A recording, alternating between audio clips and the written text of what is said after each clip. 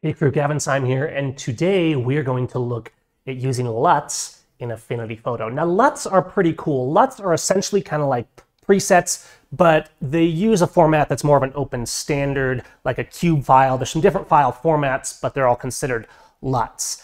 Unlike a preset for Lightroom or a style for Capture One, like the ones that I make, those are specific for those programs. A LUT is a lot more universal and can be used in different applications. For example, video editors use LUTs a lot. I use my Filmist LUTs that we're going to look at today all the time when I edit in DaVinci Resolve.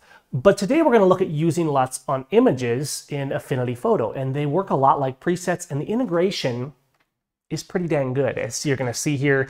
And they're easy to install, and they're easy to manage, and I'm actually overall kind of impressed with how good LUTs work in Affinity Photo. It's pretty exciting and I'm excited to show you guys today. So let's not waste any time. I have Affinity Photo. Let's actually switch over to a split screen view here so you can see what I'm doing and you can see I have an image loaded up. If I go here over to the adjustments and I'm going to zoom in a little bit so you can see here is the LUT adjustment section. There's nothing there. There normally are some default LUTs, but I don't use those, so everything's empty right now. But I'm going to go ahead and make a new category here from the gear icon and you can see that it's made a category and call it LUTs2. I'm going to click the gear icon again and rename that to Filmist 1.2, which is the LUT pack we're installing. That way we keep them organized, kind of like presets. Okay, now I'm just gonna go to the gear icon again, and we're gonna go to import.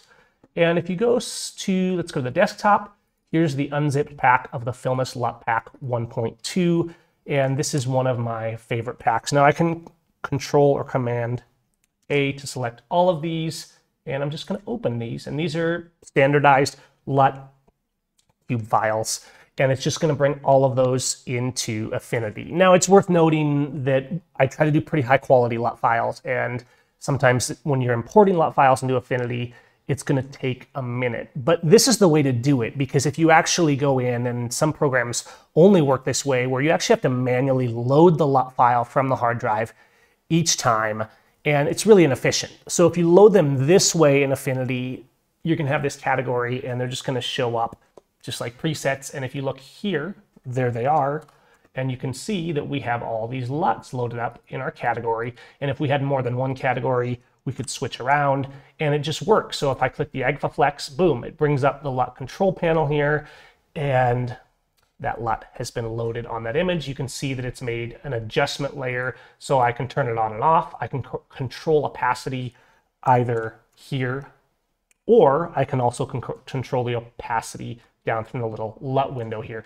But the cool thing is, I mean, you could duplicate, you can control opacity, you can control uh, blending mode. So there's a lot of things you can actually do with these effects that you can't do in a program like Lightroom because we're dealing with this very layer-based kind of approach. So I can go through uh, something like Agfa Vista, looks really great. These are really nice, clean Filmic conversions. And Filmist has a ton of classic films that are just really versatile, as well as concept films that are kind of based on and inspired from those. So it's, it's a really good pack for editing video or photo. And like I said, I edit almost all of my videos in Resolve using Filmist LUTs as well. Okay, let's just switch to another image and you can see here, we can just browse through the way LUTs work and the in integration in Affinity is really clean because if I just click a LUT, kind of like a preset, it applies. And if I click another one, it just changes. And you can see down here as I click that they are just changing. If I go NOLA 800, Natura 1600, Fuji Pro 400H. This looks pretty good. And I could then, if I wanted to add another one, I could do combinations, I could duplicate it, I could do whatever I wanted here. So if I made another layer and then applied a LUT to that, um, I don't actually need that layer. I just wanted to separate so I didn't change the original LUT. So now I'm actually stacking one LUT on top of another LUT which in this case might be too much, but you get the idea. Let's delete that one with our trash icon right here.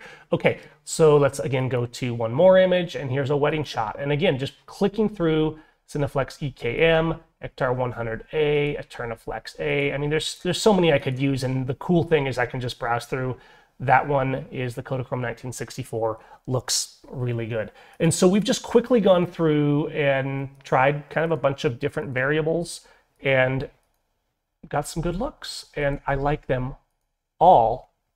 And I have to say that that's that really is all there is to LUTs in Affinity Photo. They just really work that simple.